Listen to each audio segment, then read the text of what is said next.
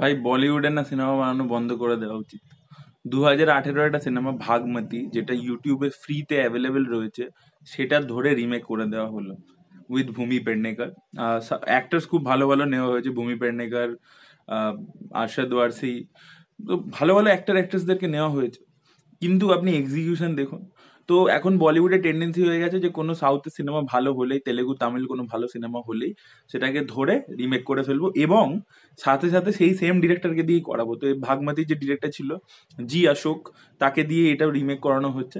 কিন্তু একদম ফালতু রিমেক হয়েছে। মানে ট্রেলার দেখে তো তাই মনে হয়েছে অ্যাটলিস্ট তো প্রথম কথা হচ্ছে যে অনুষ্কা শেট্টির যে ক্যারেক্টারটার মধ্যে যে একটা মানে ব্যাপার ছিল, একটা পাওয়ার ছিল, যখন ও বলছিল ভাগ্যমতী ওই ব্যাপারটা সেটা যখন ভূমি ইজ এ ফ্যান্টাস্টিক অ্যাক্ট্রেস আমার সোনচিড়িয়াতে ভূমির পারফরমেন্স দারুণ লেগেছে।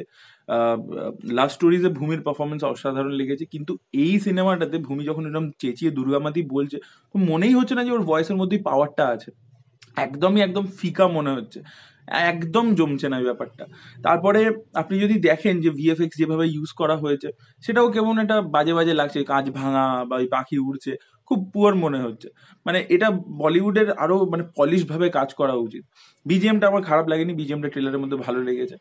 কিন্তু মানে আমার কথা হচ্ছে ভাই, কেন রিমেক মানে তোমাদের ইন্ডাস্ট্রির কাছে তো প্রচুর টাকা আছে তোমরা সময় নিয়ে সিনেমা বানাতে পারো, তোমরা কেন রাইটার্সদেরকে এম্পাওয়ার করছ না? এবং যে সিনেমাটা আমি আপনাদেরকে বলছি মানে এইটা এটা ভেবেছে হচ্ছে কবির সিং যেহেতু সুপার ডুপার হিট হয়ে গেছে, তারপর থেকে আমরা সব সিনেমা ধরে অরিজিনাল ডিরেক্টরকে দিয়ে রিমেক করলে সেটা চলে যাবে। কিন্তু তারা বুঝতে পারছে না যে অর্জুন রেড্ডি কি ছিল হিন্দি ডাবডে অ্যাভেলেবেল ছিল না। আমার তো যথেষ্ট জার্সি নিয়েও ডাউট আছে, কারণ নানির জার্সিটা অলরেডি ইউটিউবে হিন্দি ডাবডে অ্যাভেলেবেল আছে। এবার দেখা যাক শাহিদের জার্সিটার কি হয়। তো সেটাই ব্যাপার যে এক মানে যেটা লোকে ফ্রিতে দেখতে হবে সেটা লোকে ইভেন হটস্টারেও ভাগমতি ফ্রিতে আছে। তো লোকে কেন প্রাইমে সাবস্ক্রিপশন নিয়ে সেটা দেখবে? তো এটাই লজিকটা আমি বুঝতে পারি না। তো টি সিরিজ অক্ষয় কুমাররা কি করে এটা প্রডিউস করছে এই ধরনের কন্টেন্ট আমি এটা বুঝতে পারি না। দ্বিতীয় কথা হচ্ছে ভূমির পারফরমেন্স ওরকম অনুষ্কা শেট্টির পারফরমেন্স ম্যাচ করছে না।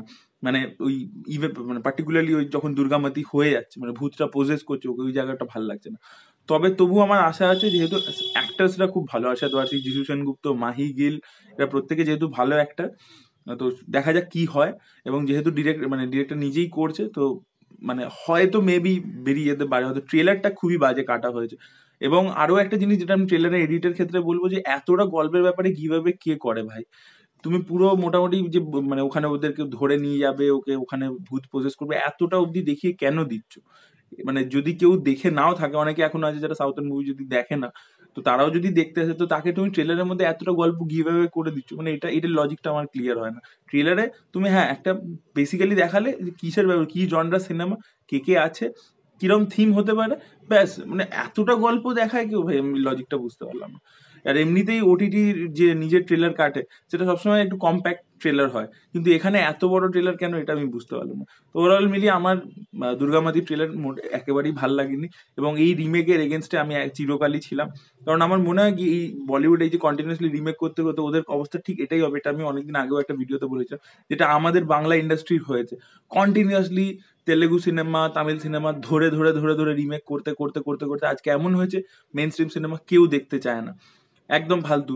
সেখানে এখন যেরকম ভাবে তেলেগু, তামিল সিনেমা যেভাবে নর্থ ইন্ডিয়ান লোকেরা দেখছে বলিউড যদি রিমেক করা ইমিডিয়েটলি বন্ধ না করে এবং রাইটার্সদেরকে এম্পাওয়ার করা শুরু না করে, তাহলে তাদেরও খুব তাড়াতাড়ি দুর্দিন আসতে চলেছে। এটাই বলা ছিল that was it thank you so much watching this video ভিডিওটা ভালো লেগে থাকলে লাইক করুন শেয়ার করুন চ্যানেলটাকে সাবস্ক্রাইব করতে ভুলবেন না। Bye bye